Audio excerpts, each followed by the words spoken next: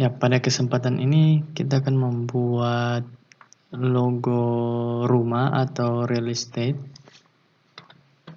Jadi untuk bentuk dasar kita gunakan polygon. Kita tekan Ctrl di keyboard supaya bentuknya sempurna. Mungkin bisa kita tambah jadi 6. Kemudian kita gunakan shape tool dan kita rubah jadi kurva.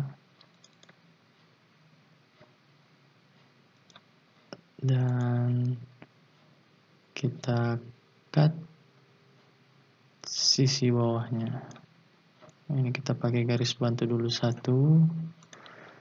Maksud saya kita pakai persegi untuk bantu potongnya ini kita bisa resize atau kita rubah ukurannya. Lalu kita copy dan kita klik seperti ini. Jadikan bagian bawahnya dari objek yang awal tadi tidak beraturan. Kita akan bantu tutup dengan objek persegi panjang yang telah kita buat. Hmm.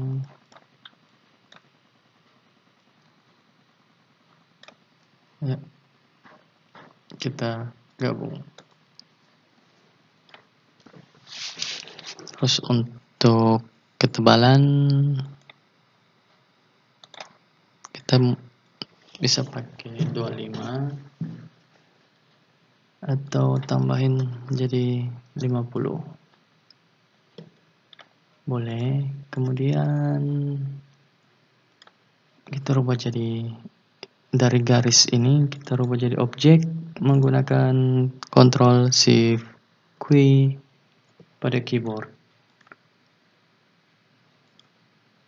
Dan bagian pintunya kita buka.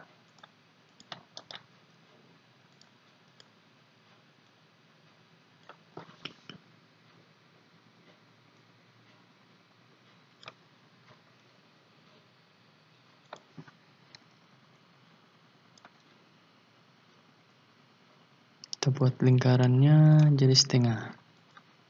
Kemudian kita kontrol Q lalu kita hapus bagian yang tak dipakai.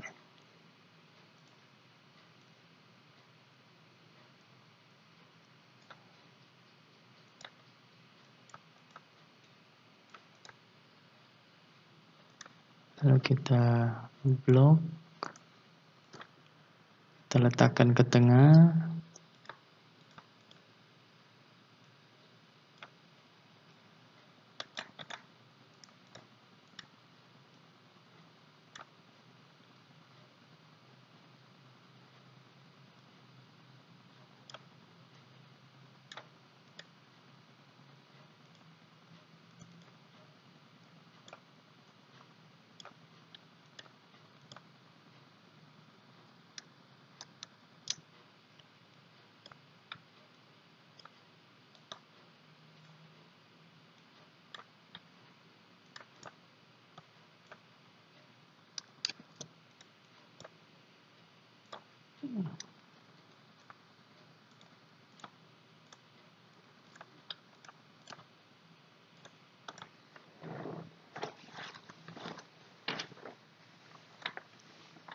Nah, setelah selesai, kita akan gabung keseluruhan objek.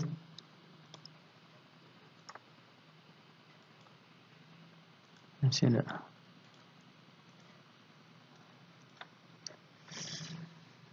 setelah selesai, kita akan gabung keseluruhan objek.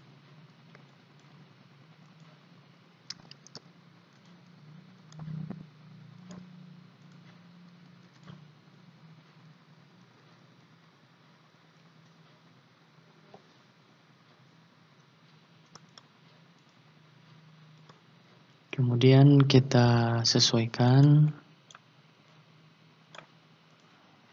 ini kita buat agak tebal sedikit.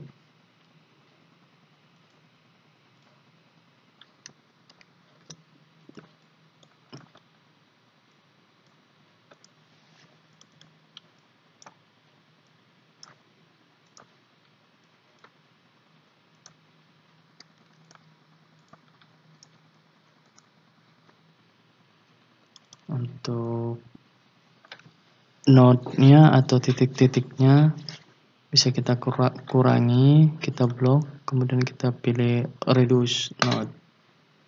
Reduce nodes. Sekian.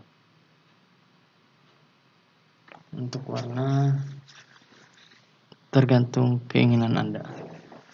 Jangan lupa kalau ada pertanyaan silahkan tulis di kolom komentar.